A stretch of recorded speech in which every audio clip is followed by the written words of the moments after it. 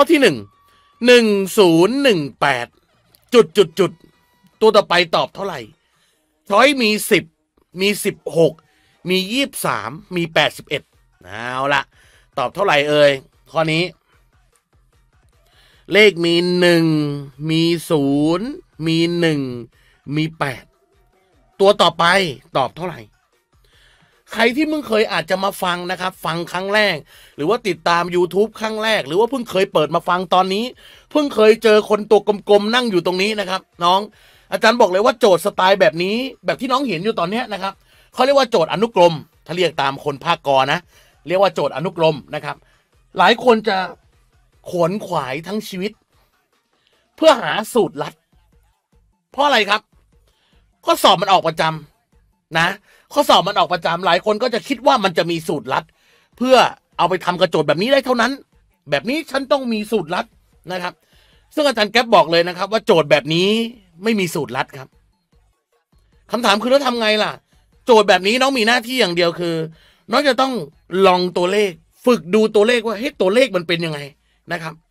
หลายครั้งที่พวกเราต้องทำเนี่ยเราทำยังไงครับ พวกเราทำยังไงเราก็อันนี้ อ่าอย่างนี้ใช่ไหมอ่าหนึ่งไปศูนย์ลบหนึ่งศูนย์ไปหนึ่งบวกหนึ่งเห็นไหมหนึ่งไปแปดหนึ่งไปแปดบวกเจ็ดหลายครั้งที่พวกเราเจอโจทย์แบบนี้เราก็ทำแบบนี้แหละนะครับ ถามว่าผิดไหมนะครับ พี่บอกเลยนะครับ ถามว่าผิดไหมไม่ผิดนะครับ คือโจทย์แบบนี้น้องก็ต้องลองครับ ลองให้มากที่สุดนะครับไม่วิธีใดก็วิธีหนึ่ง เราควรจะต้องลองเอ๊ะ ที่มันใช่แบบนี้หรือเปล่าวะมันมันแบบที่เราเคยดูแบบนี้หรือเปล่า มันคือประสบการณ์ในการทำโจทย์ครับน้อง อาจารย์ถึงบอกว่า น้องไม่ผิดเลยที่น้องทำแบบนี้นะครับลบหนึ่งนะฮะลบหนึ่งหนึ่งบวกเจ็ดอย่างเงี้ย ทุกคนฟังนะครับ ใครฟังอยู่นะ ทุกคนดูตรงนี้นะลบหนึ่งหนึ่งเจ็ดเนี่ย ถ้าสมมติ ถ้าสมมติ วันสอบ น้องรู้ว่าตัวเลขตรงเนี้ย มันคือมันเป็นแพทเทิร์นยังไง มันเรียงตัวเป็นแพทเทิร์นยังไง เช่น เช่น เช่น น้องอาจจะไปเจอข้อสอบบวกสองบวกสี่บวกหกซึ่งจริงๆไม่ออกหรอกมโนกันทั้งนั้นแหละนะครับ ไม่ออกหรอก แต่ว่าถ้ามันเป็นบวกสองบวกสี่บวกหกเนี่ย ตัวต่อไปก็ต้องบวกอะไรแน่นอนเลยครับ ตัวต่อไปก็ต้องบวกแปดแน่นอนนะครับ นั่นคือสิ่งที่เราเคยคุ้นชินกันมาว่า ถ้ามันมองออกนะ ถ้ามันมองออก มันก็ตอบได้นะครับ แต่วันสอบจริงเป็นไง อาจารย์เชื่อเลยใครเคยสอบจะรู้ครับ วันสอบจริงเป็นไง มองไม่ออกสักที มันไม่ง่ายเหมือนตอนติวเลย ไม่ง่ายเหมือนในหนังสือที่เคยซื้อมาเลยนะครับ นั่นจึงเป็นกับดักของคนส่วนใหญ่ที่ไม่รู้วิธีการทำข้อสอบแบบนี้นะครับ คือประสบการณ์น้องไม่ถึงนั่นเองนะครับนะ ทุกคนครับ พอน้องเห็นแบบนี้เนี่ย หลายคนก็ทำอนุกรมอีกชั้นหนึ่งนะครับ ดูลบหนึ่งไปหนึ่งบวกสอง อ่าหนึ่งไปเจ็ดบวกหกเห็นไหมทุกคนครับ มันมองไม่ออกครับ มันมองไม่ได้ครับ ว่าเป็นเลขอะไรนะฮะคนส่วนใหญ่ก็เลยแบบ โอ้ ไม่เอาแล้วเห็นไหมครับทุกคนครับอาจารย์แก๊ปขอยัดเฉลยเลยนะครับ เพื่อเป็นการไม่เสียเวลานะครับ คุณครูครับ ทุกคนเรื่องพวกนี้มันอยู่ที่ประสบการณ์ครับ ถ้าใครติดตามอาจารย์แก๊ปมาทุกอาทิตย์เนี่ยนะครับ มาตั้งแต่ EP ไหน EP ไหนเนี่ยนะครับ ทุกอาทิตย์เนี่ยอาจารย์จะเอาโจทย์เนี้ยมาให้ดูนะครับ หลาย ๆ แบบนะครับ อันนี้ก็เป็นแบบหนึ่งที่มันแปลกกว่าเพื่อนนะครับ ทุกคนดูตรงนี้นะฮะจุดสังเกตที่น้องต้องดูเลยนะครับ คือตัวไหนครับอ้าวอาจารย์เปิดไปไหนวะเนี่ยอ่านี่นี่เมื่อกี้มันไปโดนอะไรไม่รู้อ่าอาจารย์พูดถึงไหนแล้วนะเมื่อกี้นี้ทุกคนนะครับ จุดสังเกตมันอยู่ตรงไหนครับ จุดสังเกตมันอยู่ที่เลขแปดตรงนี้ครับ เมื่อกี้เราทำแบบเพิ่มขึ้นเพิ่มขึ้นเนี่ยมันไม่ได้ใช่ไหมฮะจุดสังเกตอาจารย์อยู่อยู่ที่เลขแปดครับ เมื่อกี้หนึ่งไปแปดบวกเจ็ดเนี่ย มันไม่ได้แล้วคุณครูครับ ไม่ได้ มันมองไม่ออกครับ เพราะฉะนั้นตัวนี้เนี่ย เราจะไม่มองแบบกระโดดข้ามกระโดดข้ามไม่เอาแล้วนะครับ เราก็ไปดูเลยครับ เอเลขแปดเนี่ย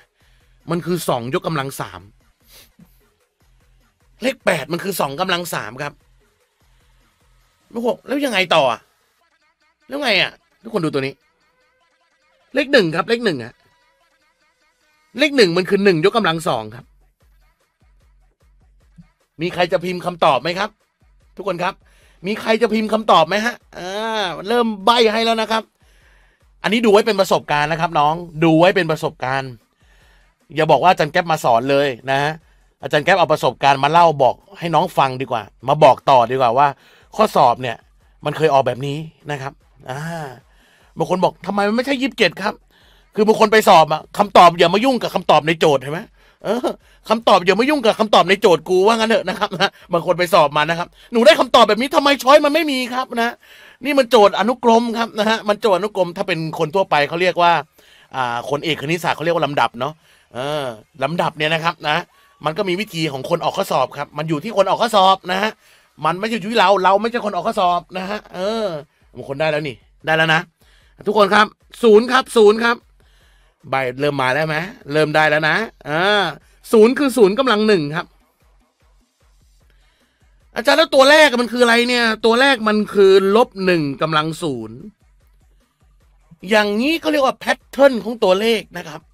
pattern ของตัวเลขฮะเห็นไหมครับ pattern ยังไงเอ่ยทุกคนลบหนึ่งศูนย์หนึ่งสองใครพิมพ์คำตอบมาขอให้สอบติดเลยนะครับนะใครพิมพ์คำตอบมานะครับ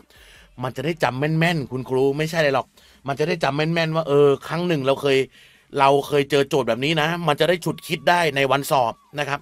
ไม่ใช่วันสอบมีวิธีเดียว บางคนนะ วันสอบมีวิธีเดียววิธีไหนครับ วันสอบบางคนนะวิธีเดียว ลบหนึ่งบวกหนึ่งบวกเจ็ดไปไปไปเรื่อย ไปเรื่อยทำอนุกรมหลายชั้นไปเรื่อยไปเรื่อยนะครับบางคนสอบมาทั้งชีวิตก็มีอยู่วิธีเดียวนะครับ นะมันต้องมีเครื่องมือหลายๆอันครับ การสอบอะฮะต้องมีเครื่องมือหลายอันนะครับ เออไม่งั้นคนก็สอบได้กันหมดแล้วสิครับ นะ เออ กลับมาของเรากันนี่ฮะเพราะฉะนั้นตัวต่อไปจะต้องเป็นอะไรครับลบหนึ่งศูนย์หนึ่งสองต่อไปต้องเป็นสามแล้วเลขชี้กำลังฮะศูนย์หนึ่งสองสามตัวต่อไปต้องเป็นสี่ครับ อย่างที่ทุกคนตอบถูกต้องแล้วครับ เยี่ยมมากๆครับ เยี่ยมมากๆนะครับ อันนี้แค่แนะนำให้นะครับ น้องตอบผิดไม่ต้องกลัวใคร ไม่ต้องอายใคร อายเพื่อนนิดหน่อยครับ อาจารย์บอกประจำนะ อายเพื่อนนิดหน่อยดีกว่าตอนสอบไม่ได้อายป้าข้างบ้านหนักกว่านี้นะครับนะเออเพราะฉะนั้นคำตอบข้อนี้คือสามยกกำลังสี่สามยกกำลังสี่คือสามคูณกันสี่ตัวครับครูครับสามคูณกันสี่ตัว อย่างนี้สามคูณกันสี่ตัวคำตอบก็คือ แปดสิบเอ็ดครับทุกคนครับ ตอบแปดสิบเอ็ดฮะข้อนี้ตอบช้อยข้อที่สี่ครับนะ ใครตอบเข้ามาขอให้ปังปังปังปังเลยนะครับ นะอโอเคโอเคคำตอบข้อนี้คือ 81 นะครับนะอ่าเอาไว้เป็นประสบการณ์ครับนะ เอาไว้เป็นประสบการณ์ เราวันเนี้ยบางคนอาจมานั่งฟังแล้วอาจจะยังไม่รู้นะครับ ไม่ใช่เรื่องแปลกนะครับ ใครเป็นลูกศิษย์อาจารย์แก๊ปอาจารย์แก๊ปบอกประจำว่าคณิตศาสตร์ถ้าน้องไม่รู้ ไม่ใช่เรื่องแปลกครับ